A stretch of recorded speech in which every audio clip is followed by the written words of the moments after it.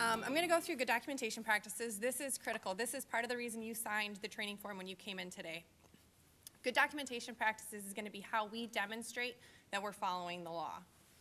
So feel free to interrupt me with any questions at any time, and we'll answer them as we go, because I want to make sure that this is clear and it, it resonates with you and you understand the criticality of this as we go through it.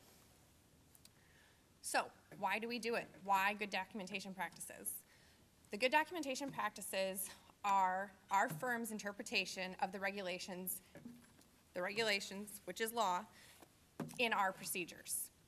Failure to follow our procedures is therefore a violation of the law.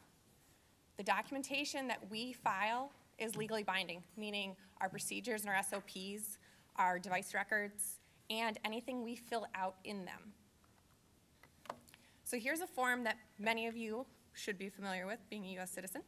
Um, this is the U.S. Individual Tax Return Form, and this is a form that is also legally binding.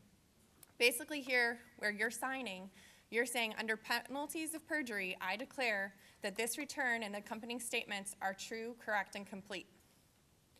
Because after you sign that, it is um, subject to audit.